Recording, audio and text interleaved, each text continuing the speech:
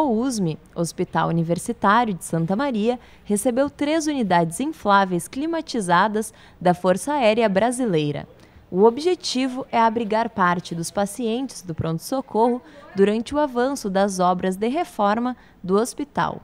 A montagem da estrutura envolveu 16 militares da Base Aérea de Santa Maria na sexta-feira, 24 de abril. Ela é basicamente a questão de alojamento, ela é utilizada para alojamento, para subsistência, ela tem né, toda a cobertura realmente física e como a gente conversou ali anteriormente, tem a parte da instalação elétrica, que eu vou ter luz, tomada, vou ter entrada para o climatizador, então ela, ela proporciona ali o, o mínimo básico né, para a gente desenvolver, como eu já falei, alojamento, alimentação, uma sala de reunião, de repente acesso para a internet, a gente consegue também disponibilizar, de comunicação. Então essa é a nossa estrutura básica que a gente está disponibilizando. A área totaliza 75 metros quadrados e deve receber cerca de 14 pacientes com o quadro clínico estável. A estrutura fica ao lado do setor de radioterapia do USME, que tem comunicação direta com o interior do pronto-socorro.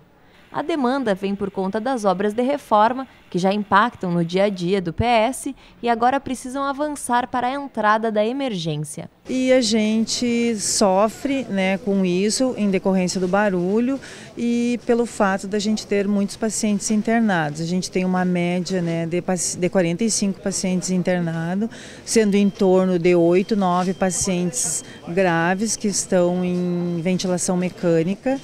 Né? Então a gente tentou buscar outras alternativas e que não deu e que agora então a gente conseguiu esse apoio né, do, da, da aeronáutica para estar tá montando essa estrutura para a gente pensar junto com a equipe do pronto-socorro uh, que tipo de paciente a gente vai poder colocar aqui. Né? A estimativa é que pelo menos dois técnicos e um enfermeiro sejam destacados para atender na estrutura.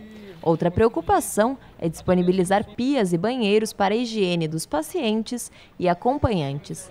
As unidades devem permanecer entre 30 e 60 dias no local, de acordo com o prazo de conclusão das obras.